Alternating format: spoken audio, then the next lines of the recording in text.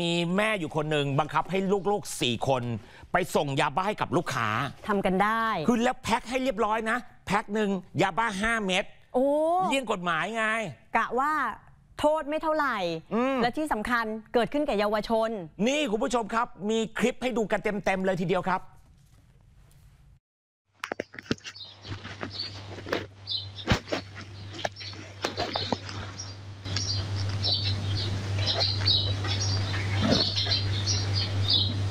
เอาพริกที่ตั้งใส่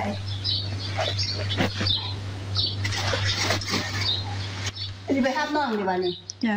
ไปแว่นไปหามันแล้วเทื่อหนึงมันบ่เห็นมันออกมาเลยแว่นมันอีกกันเอาพริกที่ตั้งใส่ได้จ้ะ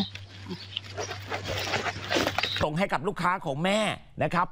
เป็นเหมือนแบบว่าถุงซิปล็อกอะอืมยาบ้าใส่เข้าไป 5 เม็ดครับ แหมแพ็คเสร็จเรียบร้อย ใช่ แพ็คละ 5 เม็ดครับ พอ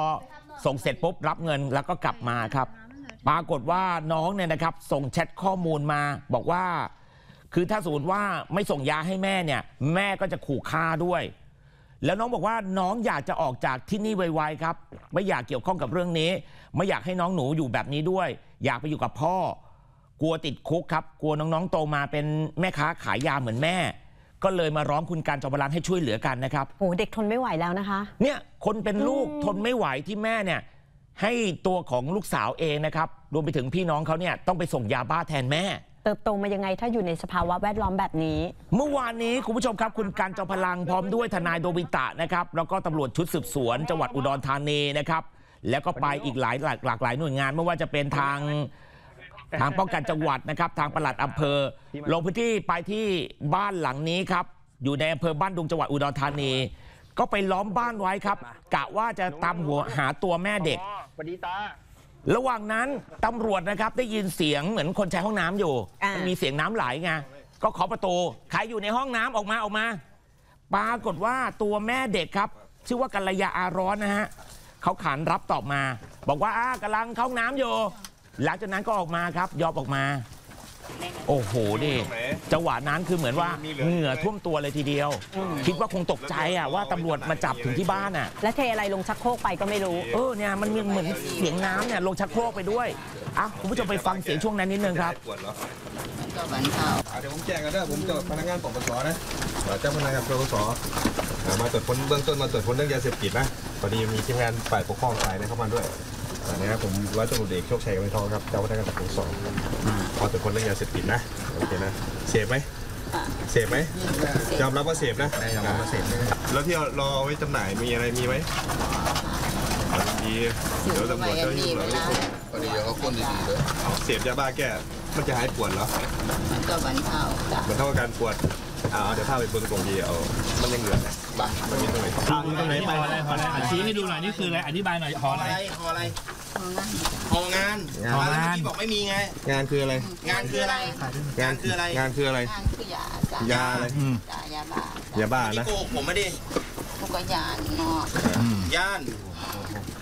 เอาไม่ไม่ไปไปหยิยิบบมามาไปไปหหยิยิบบมามายังไงให้ไปตำรวหยิจบมามาดูให้ความร่วมมือให้ความร่วมมือผมมาเปิดเองนะเนี่ย ให้ความร่วมมือให้คนี่วามร่เข้าวมห้องมือน้ำนี่แหมชัดเลยเนี่ยไหนๆเราแกะด้วยดูหน่อยดิอะไรอะไรแกะมาดึงออกมาดึงหน่อยง่ายขอดึงหน่อย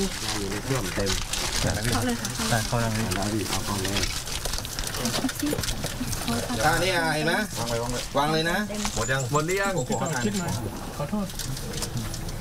เดี๋ยวปะเดี๋ยวปะไหนๆเราแกะด้วยดูหน่อยดิอะไรไปไปมาๆครับ คุณการชมพลังเนี่ย เหลือไปเห็นซองที่ชุบเปียกอยู่ซองหนึ่งอ่า แล้วก็ลองไปเปิดดู มันมียาบ้าอยู่ในนั้นประมาณ 30 เม็ดได้ฮะ อย่างเยอะ เกือบจะ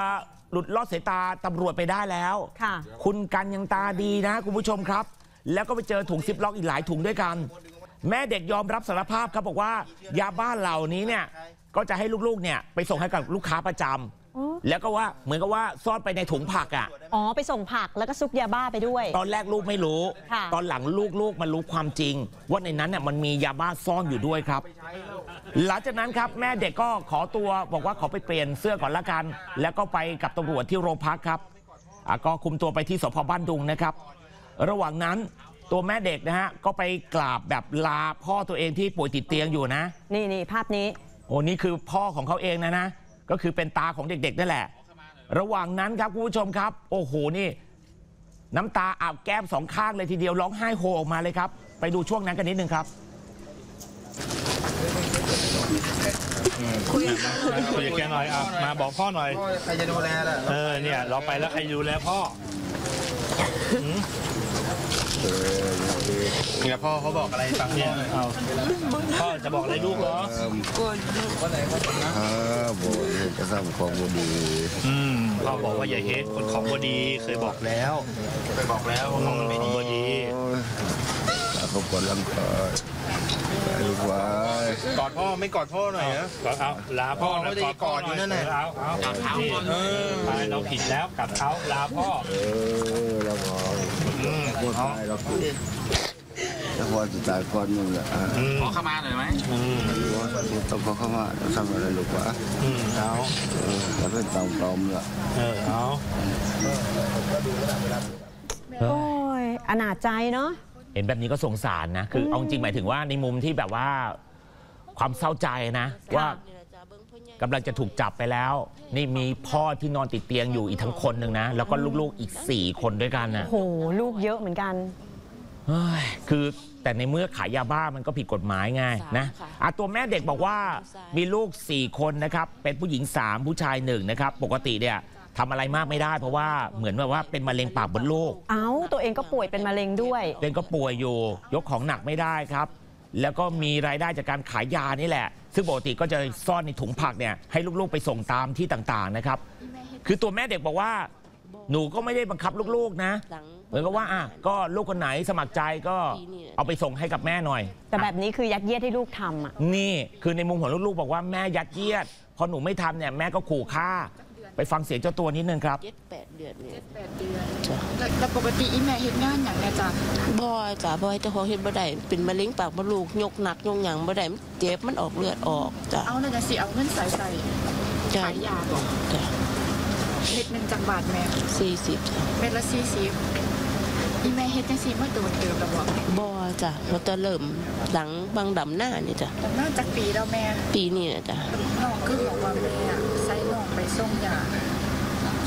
ก็จมไปกับพักจ้ะร่างร่างของเงินอืมคืออีแม่ให้น้องไปส่งอีดีบ่จ้ะใส่ไปในผักค่ะ ใส่ไปในพักให้น้องเอาพักไปส่งตามคุณตามพี่จ้ะอะทีมข่าวของเราพูดคุยกับตัวลูกสาวครับ ชื่อว่าน้องปิงปองนะอายุ 17 ครับน้องปิงปองบอกว่าปกติแม่หนูจะขายยาบ้าอยู่ที่บ้านนะ ค่ะ คือเหมือนกับว่าก็จะมีลูกค้าแวะเวียนมาที่บ้านวันหนึ่งประมาณ 3-4 คนเลยทีเดียวนะ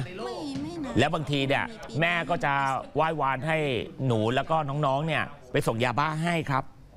เดือนเดือนเวลาที่แม่น่ะจะให้พวกหนูไปส่งยาบ้าให้ หนูก็เคยถามแม่นะ ว่าแล้วทำไมแม่ไม่ไปส่งยาเองเลย